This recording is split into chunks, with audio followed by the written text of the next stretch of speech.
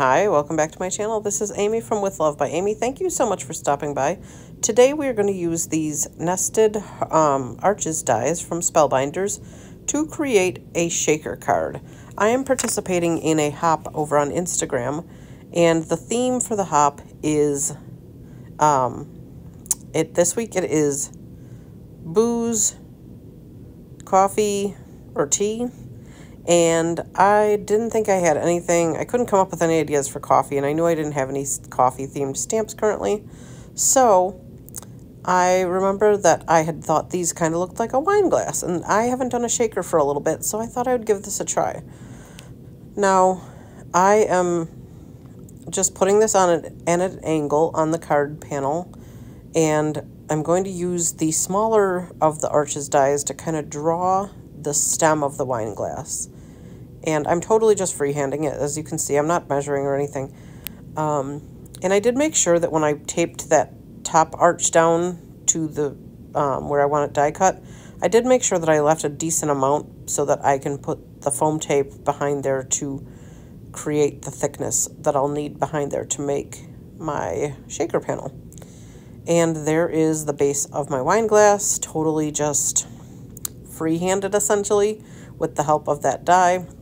And yes, now that I'm looking at it, it looks a little wonky, but I ran it through the die cut machine. I like the way it looks, even though it isn't exactly straight. It's kind of like, I don't know, it's just a little off. But all right, I did off camera, I die cut six of those white die cuts and I glued them all together. Those are going to be make my little shaker well. And then we are going to use some stamps to stamp on the base of the, or whatever, the top panel of the shaker. And these are just things that I had in my stash that I haven't used in quite a while. Um, I think Stampabilities, I think, is that stamp set with the circles and everything. And then I have the little, I think it's Studio G by Hampton Arts or something like that for the little, the little one with the little wine glass and the martini glass and stuff. And I thought this was cute. These are both um, I think they're acrylic stamps because they didn't want to come off of the the background at all. And I've never used them before. Somebody gave them to me and I've never used either of these sets before. So I thought I would give it a shot and see if I like them enough to keep them or if I want to pass them along. But they're cute. I just don't know if I would ever use them again, really. Um, but I'm just going to stamp them with my VersaFine Onyx Black ink. We're just trying to add some more vis visual interest to what will be the front of my shaker card. And then I decided to go over it with some, oh, I can't remember what that is, Spun Sugar maybe, distress oxide. And I didn't wait long enough and my black ink wasn't exactly dry, so it's kind of smearing a little bit and kind of annoying me because that was like a rookie mistake. I should have known to heat set it really quick because it literally would have taken me one second to do that. But live and learn, I guess. But it's it's just cute. I this this hop is taking place the day before my birthday, so I thought I wanted to make the cutest curl, girliest wine card that I could come up with because I I just like me some wine. All right, now we're going to fill in the stem of the wine glass and go around the outside or the inside edge of the wine glass part just to make it look a little finalized or finished or whatever and we're using Olo markers. I think I, I showed a screenshot of what color that one is. I can't remember now off the top of my head what it was, but I will put it in the description below. I really love my Olo markers, and that handle makes it really handy to um, use it and just switch it out when you go from marker to marker because of the little thread thingy on it just is super easy to use and I'm obsessed with it. And I'm going to see, I'm scribbling on the inside of my shaker well too, just, do I have a good reason to do that? Not really, but, you know, it is what it is. I thought it was a good detail. You can let me know if that's like too much or is it a good idea. I know there are some people that probably would have decorated the panel that goes behind the shaker well too, but I just didn't think of it. All right, now we're going to glue the acetate on here. I have a bunch of old transparencies that I bought a long time ago for a different project, and that was just a scrap of one of those. And it, I went in the box and I found it, and I was pretty excited because it was just the right size.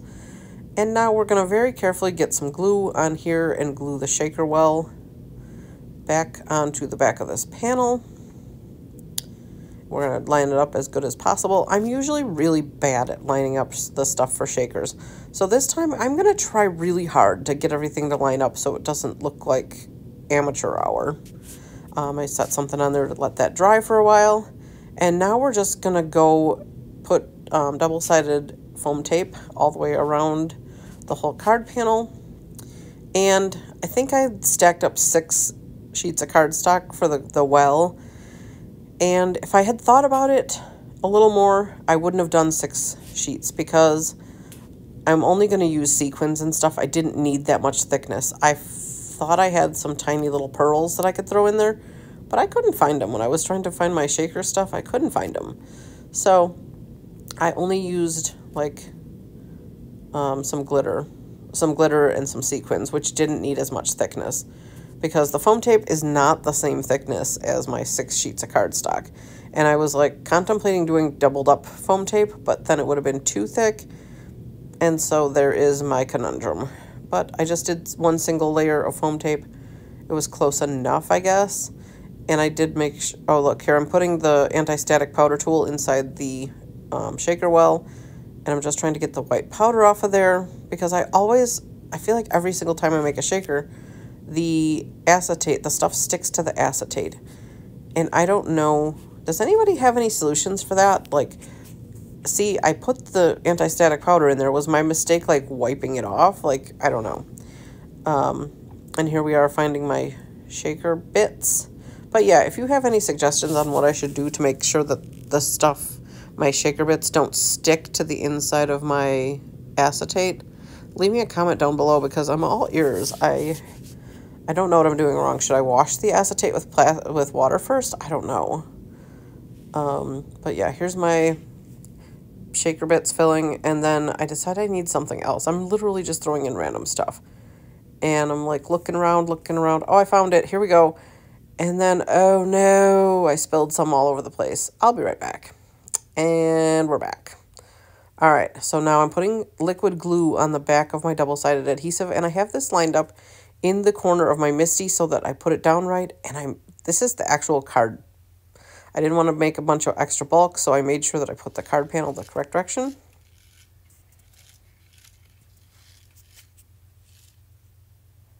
And there you got to see it shake, shake, shake.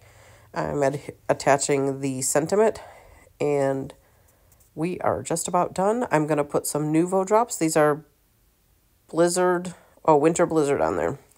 We're going to just make it a little textury, I guess, or whatever. We're just going to put some dots here and there on some of the stamps that I've put on.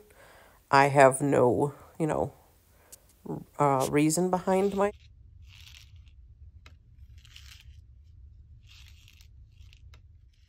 And here is the finished product. Please leave me a comment below. Let me know what you think. Don't forget to like and subscribe. It really helps me out. Thanks. Bye.